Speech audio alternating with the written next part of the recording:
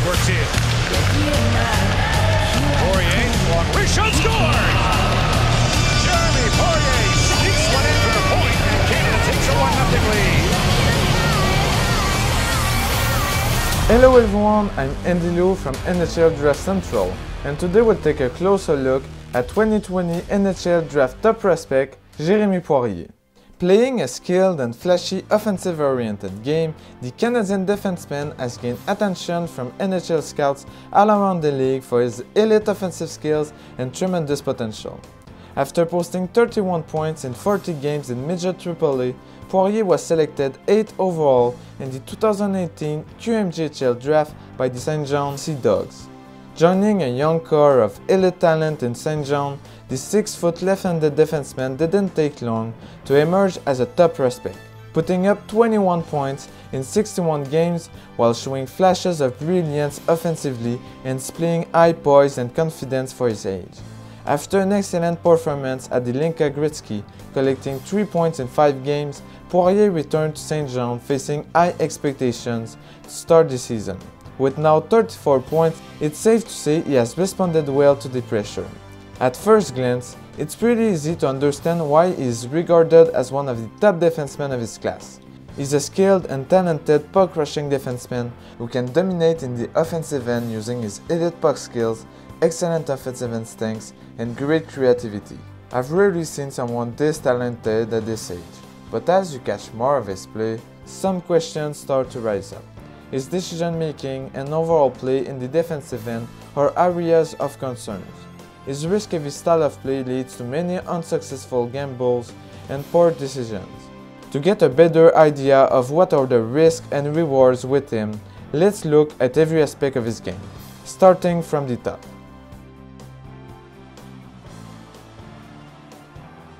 Without a doubt, Poirier's greatest skill is his stick handling, mostly due to him owning some of the best ends of the draft. I can't think of many defensemen coming in their draft year with this level of talent. He's simply a wizard with a puck, creating so many opportunities for himself with crazy dangles or flashy digs. He has some amazingly soft mitts and each move seems so effortless. He's a shifty and creative attacker who uses quick cuts and direction changes to destabilize his opponents.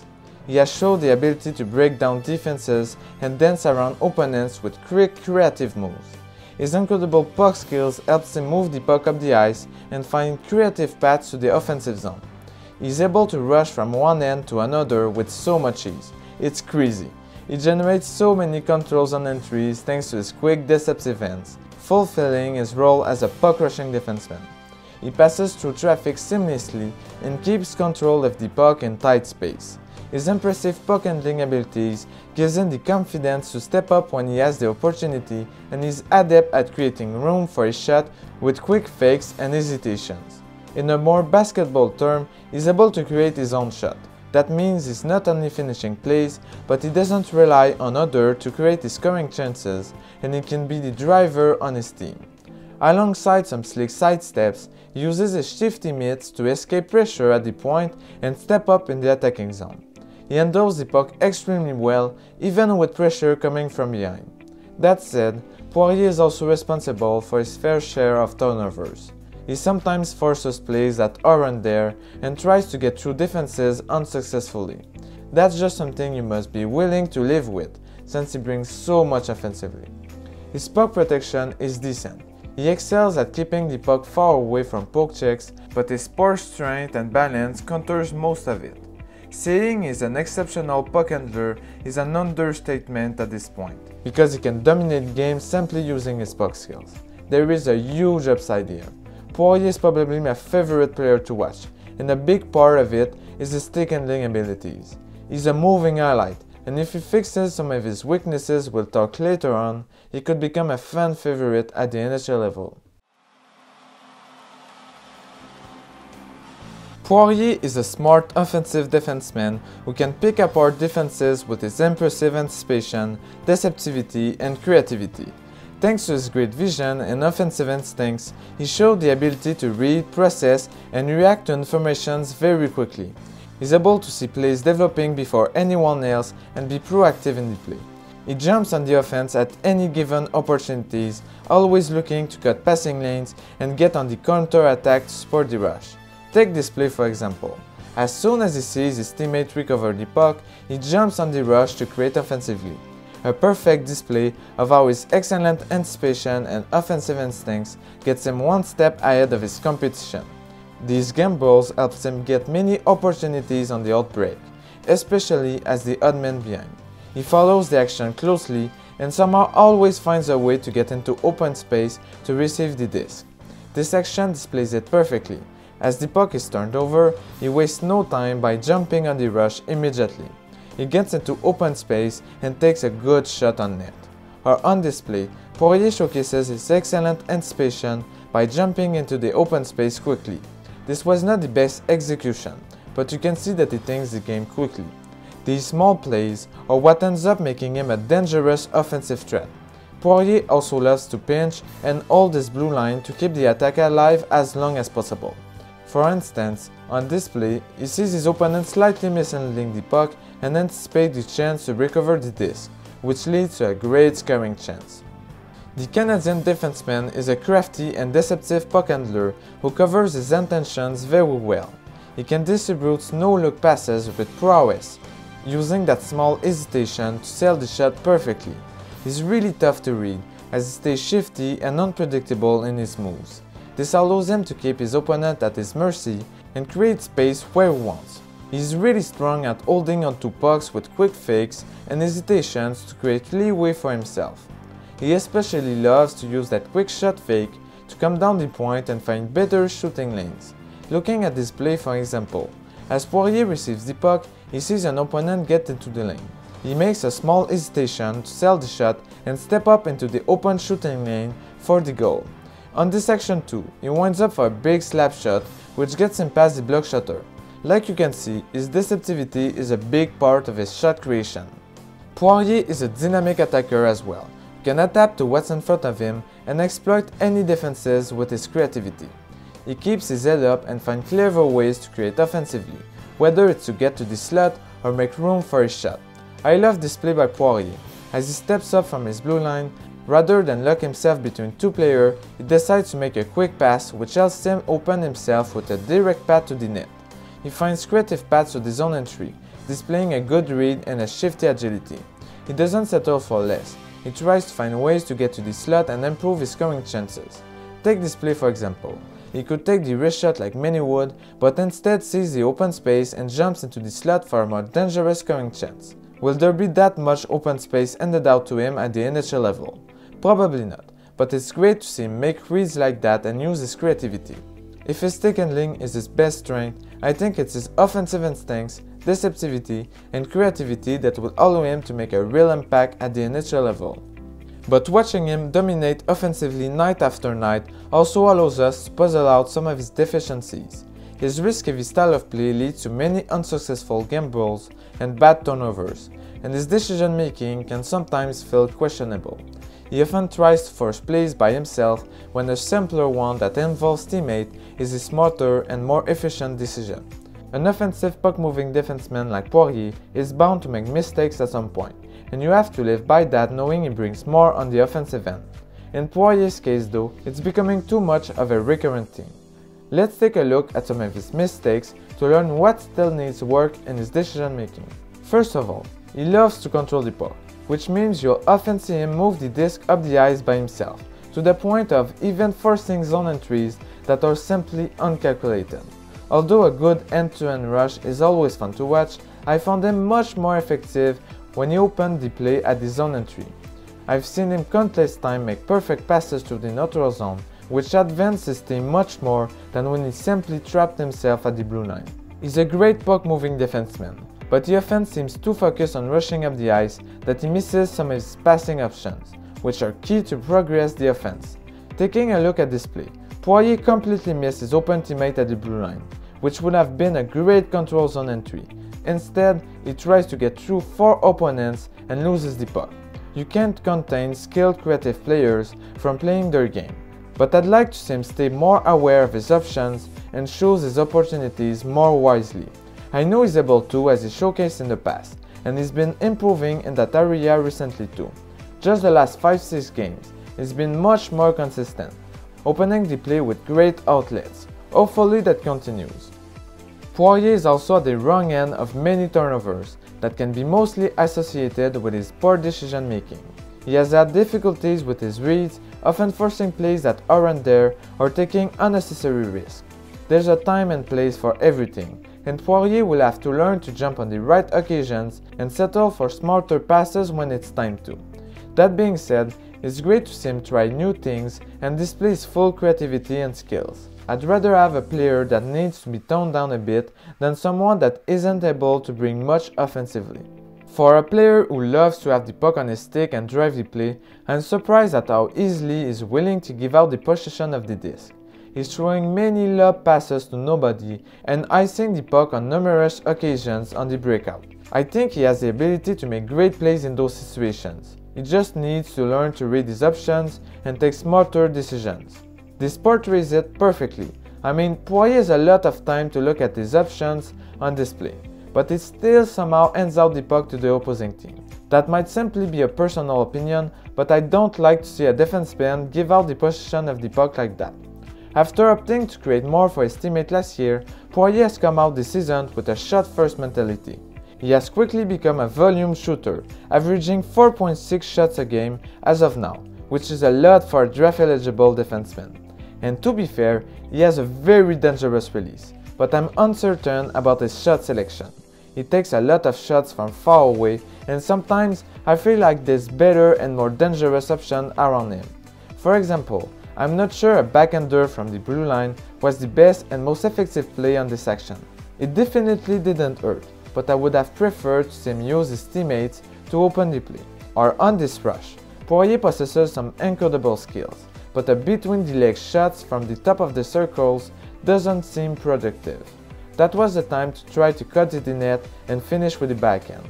This comes back to what I said before. I just think he shouldn't force plays and take a smarter approach to the game. He has the creativity and offensive awareness to make those reads. Still, this is a very small detail. It won't be the difference maker of him succeeding at the next level or not. I've mostly highlighted his bad plays here, but I've seen games where Poirier has been really impressive in his decision making. It's simply really inconsistent. I believe the decision making is one of the most important aspects for a defenseman, so Poirier will need to work on that. It's definitely a concern to many scouts, but I'm optimistic about his progression since I've seen improvements in that area recently. It will be a key aspect to his transition to the pro level. Now looking at his play under pressure, Poirier is an incredibly calm and confident puck handler.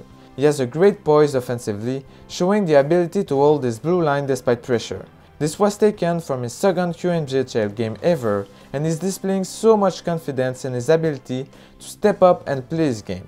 He controls the puck very well with pressure on his back, which allows him to rush the puck up the ice with dexterity. I tend to question his decision making in those situations though.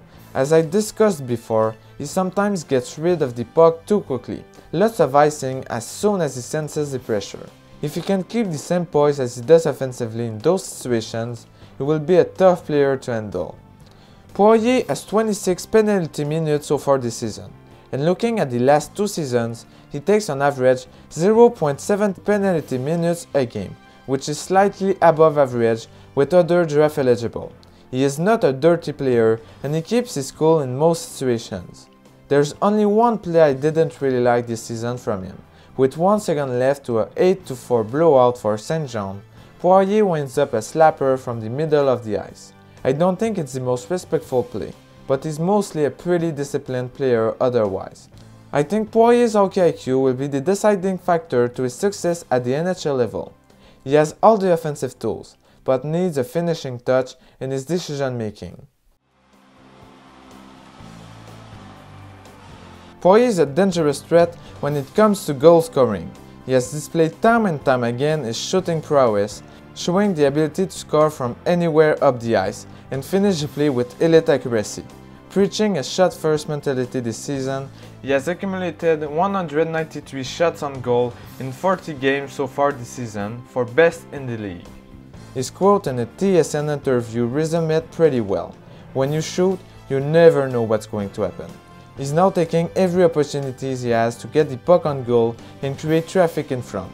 From firing quickly off the rush or getting multiple shots on reception from the point, his aggressive style of play has allowed him to collect 11 goals this season, which ranks him very well against the best Q prospects in recent years. Most of his goals come from his ability to create dangerous looks for himself. He gets into favorable positions and can capitalize on his chances. His release is truly impressive, as it's very quick and efficient.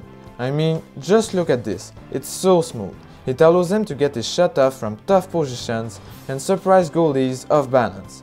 His puck delivery is very deceptive and keeps goaltender guessing on every shot. His quick release coming down the rush or stepping up in the attacking zone is his bread and butter. Poirier has developed a wicked slap shot too, and he tends to utilize it more and more nowadays. Not only has he showed the ability to be a scoring threat from far away thanks to an above average accuracy and great power, putting the puck in a dangerous spot creates lots of rebound for his teammate. He excels at putting the puck on net when he gets around the crease thanks to his quick hands and snappy backhand shot but he lacks the finishing touch to be a real danger up close. He can also strike and shoot out pretty comfortably thanks to his lightning quick release and great puck skills. His incredible release and great all-around scoring tools will help him develop into a potential scoring threat at the NHL level. Although Poirier favors shooting, he is an above average playmaker who has the ability to complete passes all around the ice. He can execute decent passing plays on the breakout to quickly restart the attack and move the play up the ice. He also uses his defense partner very well to open the play and beat for checkers, and his outlet pass gives his team the edge on many transitional plays. I found him very efficient through the neutral zone as he uses teammates to create zone entries. He has displayed a decent vision to find teammates in the attacking zone with excellent cross-ice passes and perfect no-look feeds. He also distributes the puck very well to keep the play alive, and he especially loves to walk the blue line and create room for his teammates. Overall, his playmaking abilities are above average and completes his offensive game very well. Poirier thrives with the puck on his stick, and he never shies away from the opportunity to skate the puck out himself. He loves to lead the play up the ice, using his great agility and vision to find skating lanes. He really excels at dodging pressure and dancing around opponents on the rush, which allows him to create countless controls on entries. His shiftiness can be easily noticed as he then goes through traffic and makes quick direction changes in transition. That said, his acceleration and top speed seems lacking a bit to be up par with the best puck rushing defensemen. His first few steps can feel pretty slow and he doesn't possess the iron speed to beat opponents on the fly. Although he's still pretty effective offensively in juniors, as he has handed out a ton of space to maneuver, his transition to the pro level will present itself as a challenge. His lack of quickness is particularly noticeable when he attempts to defend rushes as he gets passed on multiple occasions by speedy attackers. Not only is his pivot pretty slow, he lacks the explosion as well as the speed to catch up with his rivals. If he has difficulties at this level, there's some obvious concerns about his play in a much faster paced NHL. He will have a lot of work to do to unlock his top speed and quickness, but on a more encouraging note, I've seen some improvement in Poirier's top end speed. He's much faster in rushes nowadays and his foot speed seems better, which is the first step every scout wants to see. I was very impressed with his mobility as well. His great lateral quickness is on display every game as he walks the blue line and controls the attack. He uses his smooth side steps to escape pressure and stay active on the breakout, which gives him the edge to step up on the play and find a teammate on the outlet. His footwork is excellent too, and he can be very fluid in transition. Despite his great mobility, Poirier's skating is still an area to improve.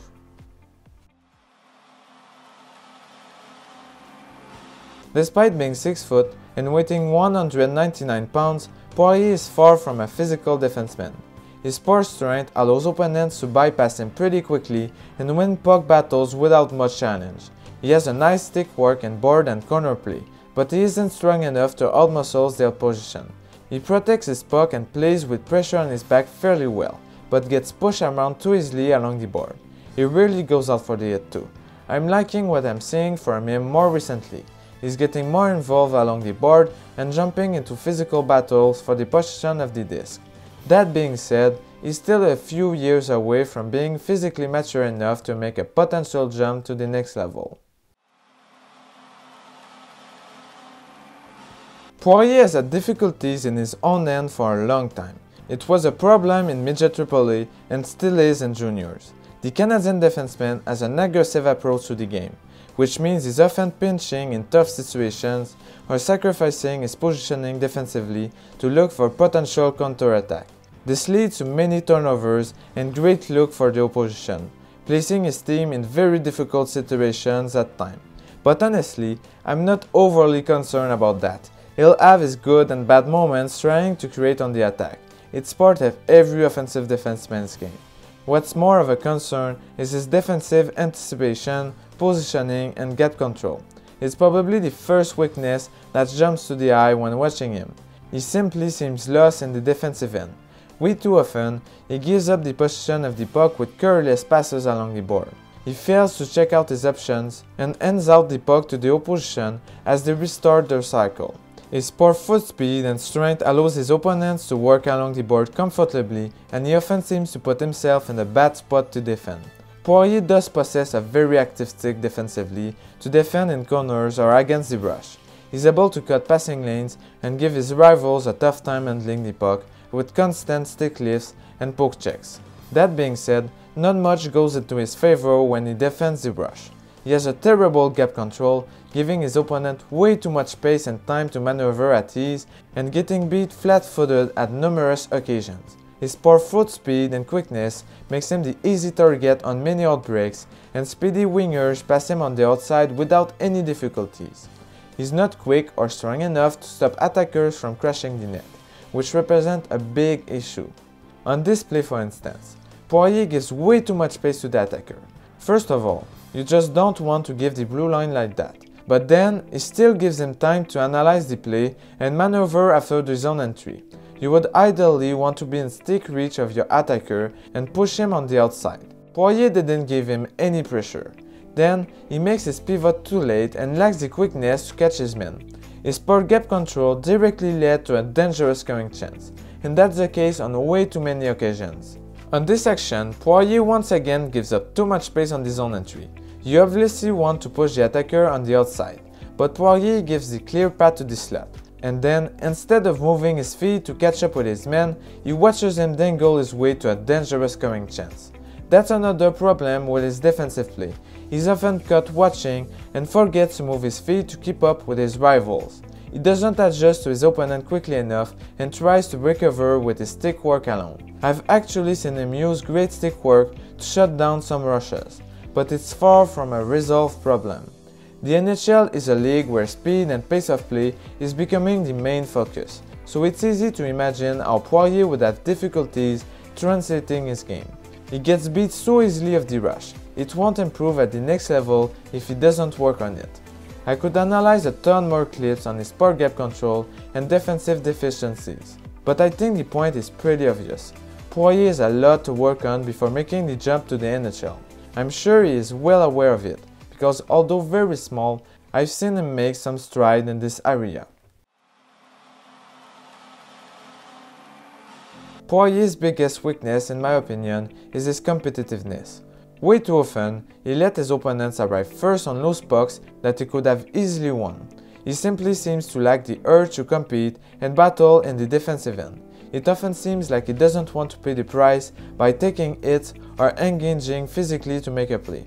On this action, for instance, as he sees the forechecker, he seems to give up on the play, and when the puck gets in front, he slides around the net. This brings me to my other point.